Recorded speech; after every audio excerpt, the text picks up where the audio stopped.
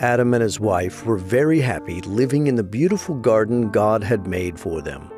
Neither of them wore clothes, but this did not cause them to feel any shame, because there was no sin in the world. They often walked in the garden and talked with God.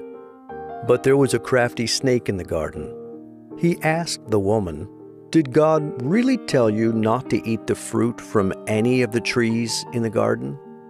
The woman answered, God told us we could eat the fruit of any tree except from the tree of the knowledge of good and evil.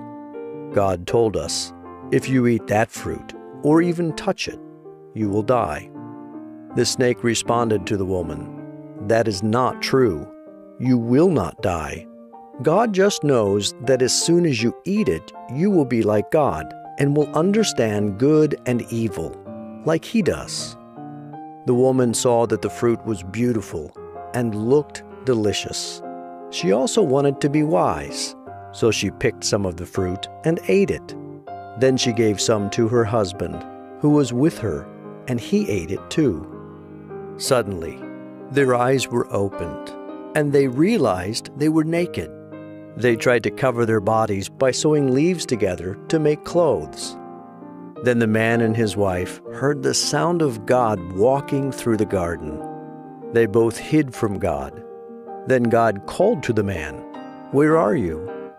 Adam replied, I heard you walking in the garden, and I was afraid because I was naked, so I hid. Then God asked, Who told you that you were naked?